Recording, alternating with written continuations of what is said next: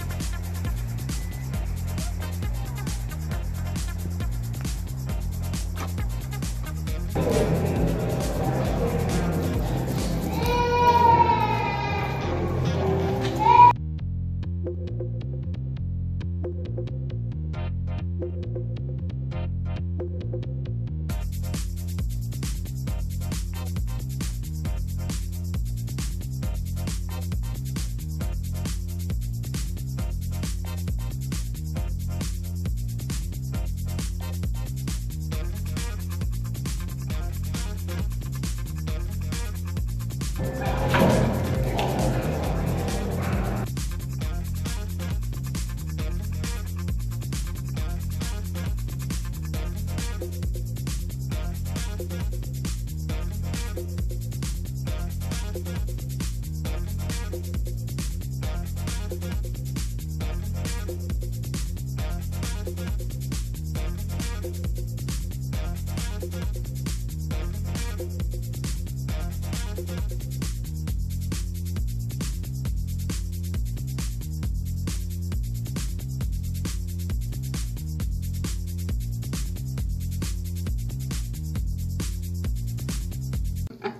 Hi, I'm Ian. It's my dog Kai. He's a one-year-old cane Corso. We brought him here to Nikki because he was aggressive and trying to eat people. Uh, we left him here for two weeks, and he's now a gentleman. He doesn't need a muscle anymore, and uh, he's great. Doesn't want to leave either. So.